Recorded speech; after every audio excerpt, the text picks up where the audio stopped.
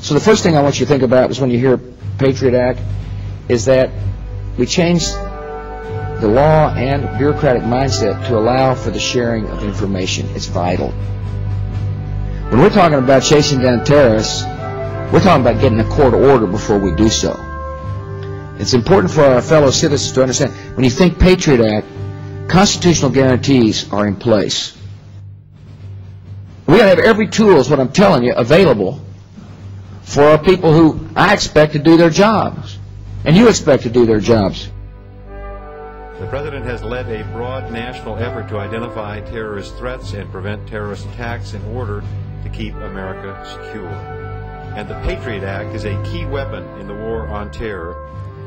Thank you, Governor. It's my pleasure to join you uh, this morning uh, in supporting President Bush, who, in my view, has done a magnificent job in confronting the danger of terrorism uh, and leading the nation through one of the most perilous times in our history.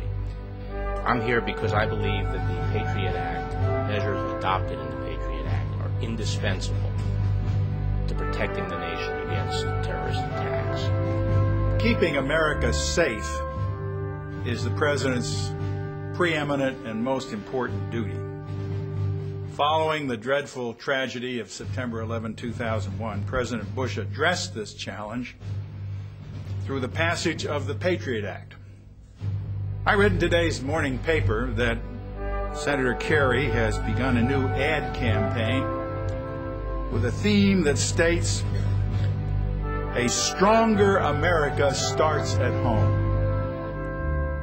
Well, a stronger America does not start with the repeal and replacement of the Patriot Act. But I read somewhere that Senator Kerry uh, uh, says that he supports 95% of the USA Patriot Act. That's similar to saying you're 95% not pregnant, because it is that 5% that is the vulnerability through which the terrorists uh, would exploit, just as they exploited the vulnerabilities of September 10th in order to reach September 11th.